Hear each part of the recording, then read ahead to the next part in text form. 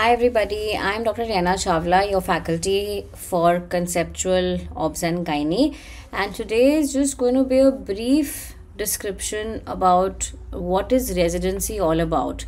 When you enter your first year, what are your expectations? How do you go about studying? What are you going to get from uh, these three years of your life? This is all about that. Okay, so let's start.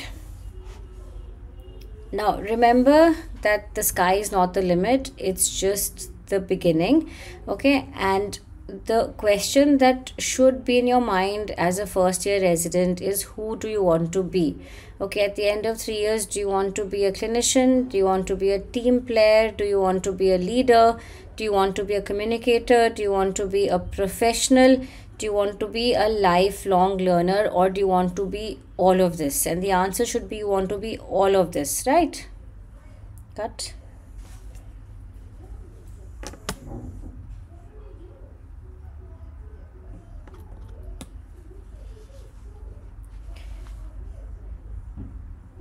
Start. And the answer is you want to be all of these things together and that what that's what makes a good doctor okay so now one of the primary questions that everybody asks me is when do I study? When do I get the time? Because as soon as you enter your residency, especially if you're in a busy hospital, a busy medical college, you feel so overwhelmed, you feel so burdened, you do not know what's happening, you're running from here to there, and you're doing a lot of clerical work, you're doing a lot of ground level work, and you just seem so overwhelmed, you don't know when to study.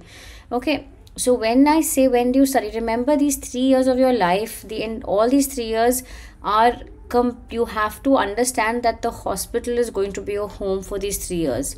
So you're not going to get you may not get the comfort of a nice study table or going to the library or going go, uh, or just sitting with your friends and discussing uh, or studying like how would you you do in undergraduate days. You're now a doctor okay and your primary focus is to see the patient but along with that you have to try and find time to learn also.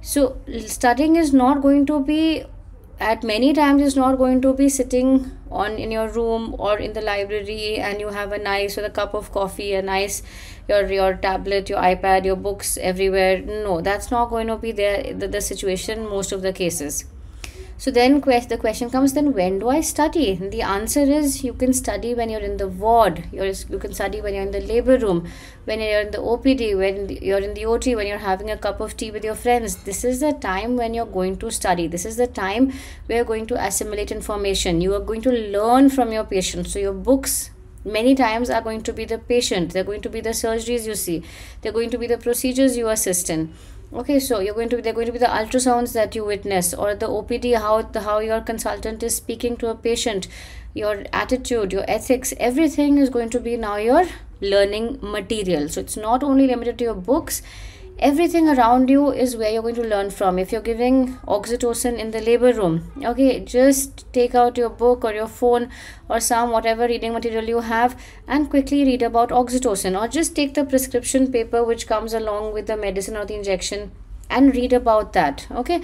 So that's how you're going to learn and it's a everyday process. So your patients are your biggest teachers. Remember this. You will never ever forget your patients your surgeries, whatever you witness, the surgeries you do, the OPD, the ultrasounds, so many ways ways are what is going to get you your information. So apart from these information sources, you will also also from time immemorial we've always had our books with us okay and there are many standard books which we will tell you as and when we go along this journey what are your books? Which journals you'll now come across? A lot of research and journal clubs and scientific writing. So journals also become very very important. How to read those journals. Then of course you'll many of you will be having lectures and uh, this is a picture from a skills lab. We will be learning different different skills. And of course then you have your youtube you have your social media you have different whatsapp study groups are out there. You have instagram and of course you have us. All right. So these are going to be your information sources. And it's very important to get the balance right. Another common question um, uh, uh, which many many students ask me is ma'am how do you maintain your work life balance okay? And that is a question which is actually very difficult to answer. It's very individualistic. How much of your life do you want to de- devote to your work? How much of your life do you want to devote to, to yourself? How much do you want to devote to your family? So it's very individual. But whatever you want to do you have to set the balance right. And that takes years and years of learning okay and for it to all come together in the end right also remember as i said the 3 years of your residency is when you are basically devoting your life to learning because these 3 years are going to form the remainder of your future years. Okay so it's it's important to give time to yourself but it's also important to understand that these 3 years is what is going to make or break you. The 3 years of my residency which was now 15 years back is were the golden years of my life. I still remember i remember just as if it was yesterday. The rounds the, the the, the my teachers my faculty my professors the classes the sessions the the um, sessions we used to take the presentations we used to do the conferences we used to attend. It was all like if it was yesterday. It's as clear in my mind today 15 years later. So that's very important. And also remember that learning is not only about knowledge. That means it's not only about your books and learning concepts that is important. But other than the knowledge is your skills okay? And skills remember is not something which comes overnight. Learning to do a cesarean suturing an episiotomy even something as simple as putting in a foley's catheter okay and then you go on to more advanced things like nowadays laparoscopy and even beyond that robotic. Remember it's a continuous learning process. I am still learning okay? Even after 15 years i am still learning. There are many things i still do not know or i am still not good at and it's a process which takes time. So remember skills is not something which is going to be learned overnight. If you're not getting chances or you feel you're not getting chances compared to your peers in a different medical college it doesn't matter. Honestly doesn't matter. In the end everybody learns okay? And it comes with time. It comes with experience.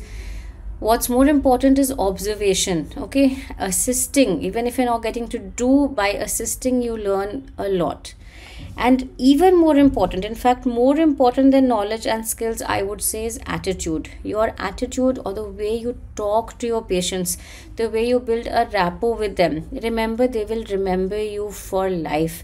They will never forget that. Okay so attitude is very very important. Okay even if your knowledge is mediocre your skills are mediocre if your attitude is good towards the patient the patient will place her complete trust in you. Okay so this is very important to not ignore the attitude part. And how do you learn this? By watching your seniors by watching your peers. You must have seen doctors who are very good at talking. You might have seen some doctors who don't talk well at all. So you have to learn pick up the good points okay? And it's a lot depends on your personality also. Some are doctors are extroverts some are, some are introvert but you need to develop the right way to communicate with the patient. That's very very important. Now some tips okay from my side to you as a resident. Remember when i say when you want to take time out to study remember you may not as i said get time to sit on a study table or in the library but try to make a timetable for the month. And this would depend on where your posting is. So if you're posting in the labor room you might you know you may not get enough time. So make your timetable light. Try to cover the, the labor topics during those month. If you're plotting a partogram or a labor care guide you should know everything about it. So take time out to study wherever you're posted okay make a daily schedule or a to do list and try to complete at least 80% of it. Cut. Start. So 80% of it, even if you do, is a good enough um, target. Learn from everywhere, even the nurse, even the GDA, even the ground level staff, everybody is going to teach you something. Remember this, it's very important. Your junior can teach you something your colleagues of course and of course your seniors. So you're going to learn from everybody around you. It's a teamwork. Nobody is above you nobody is below you. You are working as a team. Make a logbook. Even if your uh, university may not mandate it it may not be mandatory in many places in some places it is. Even if it's not make a logbook. I always have a log had a logbook at least till a few years back i would enter diligently every day when i used to come home even as a consultant. What cases have i done? What cases have i seen? What cases have i assisted? Cut. Start. And i would note down everything in the logbook. Okay especially as postgraduates it's even more important because you need to know what you've done and have a record of all that's there. Not only of cases okay this also applies to to surgical cases it also applies to clinical cases that you've seen in the ward.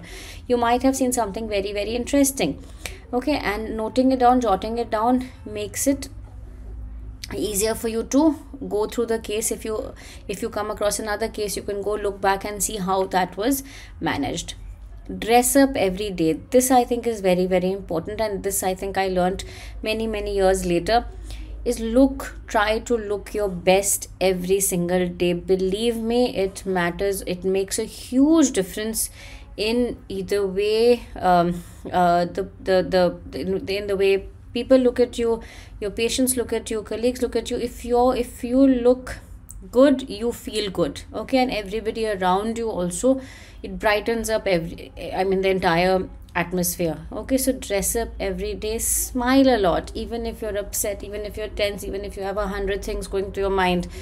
Be nice to everybody be kind. Remember this is just three years of your life okay? Don't spoil it in a bad mood or in a uh, frustrated manner.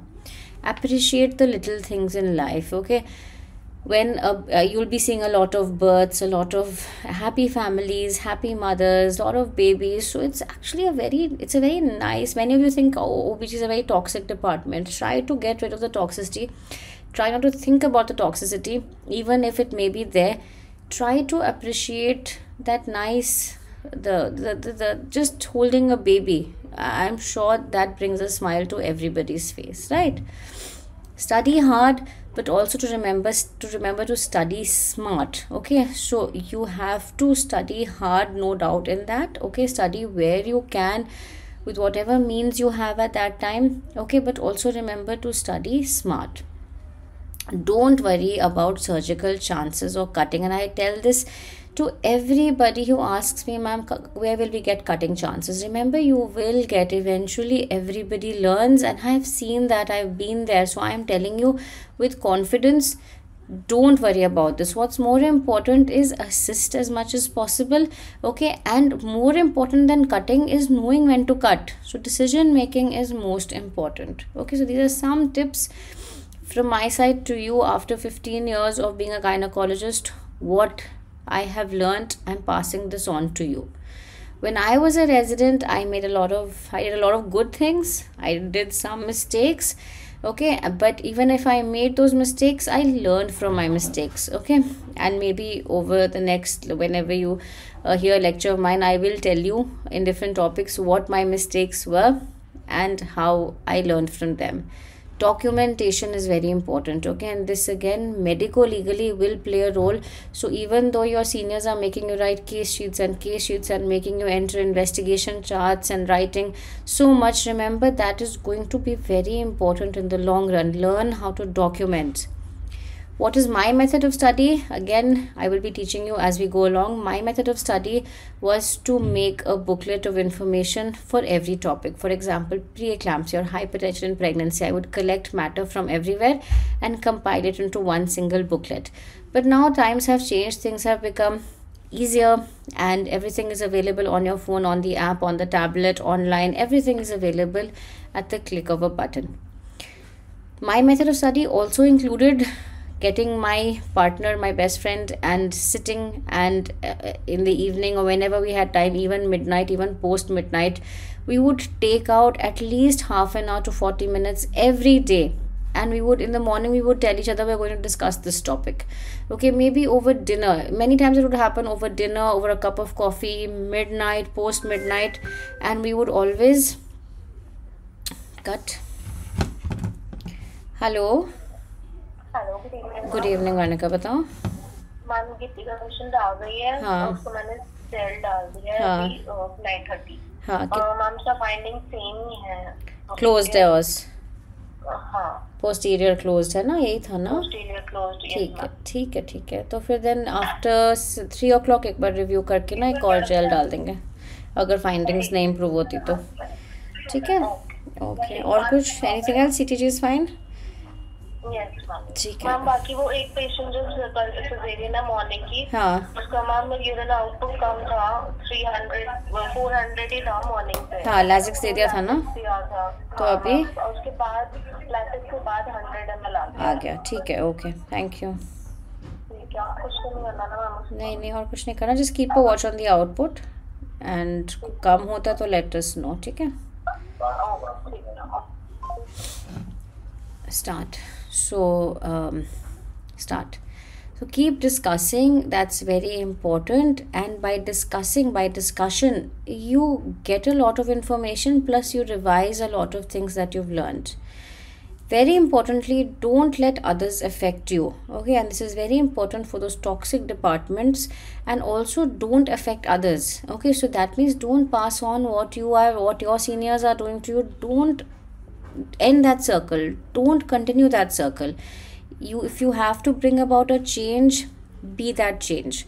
Okay so don't let others affect you. Don't get jealous. If somebody is getting more chances than you it's all right. Take a deep breath. Do your very very best.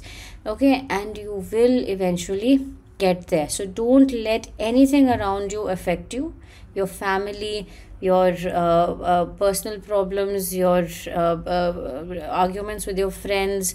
Okay try not to let it affect you. It takes time it takes practice but eventually remember this will help you in the long run.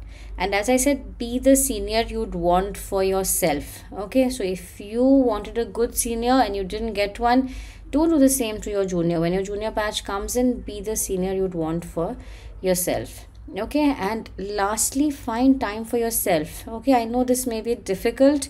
I've already told you three years you're going to be in the hospital but take that one hour every week out go to the salon go shopping buy something new take a walk in the park. Okay so you have to spend three years in the hospital but yes do take out time for yourself because that is very very much required. If you don't take that time out for yourself you're going to it's it's going to be a spiral of uh, a never ending work. So that's very important. One hour a week is your time is me time okay? And do whatever you want in that time. All right so remember um, uh, this is one of my favorite authors. Atul gawande is a surgeon in the us of indian origin and he's written two books. So again one of my advice to you as residents is when you're entering this field um, uh, as a resident uh, please read these two books better and complications both written by him. And he said to become a doctor you spend so much time in the tunnels of preparation head down trying not to screw up trying to make it from one day to the next that it is a shock to find yourself at the other end with someone shaking your hand and asking how much money you want to make. So you get there. But to get there, you have to put in the effort. Nothing comes for free. Hard work is very, very, very essential to being successful, and there's no shortcut to hard work. So I hope this uh, short video helps, and welcome to Conceptual OBG.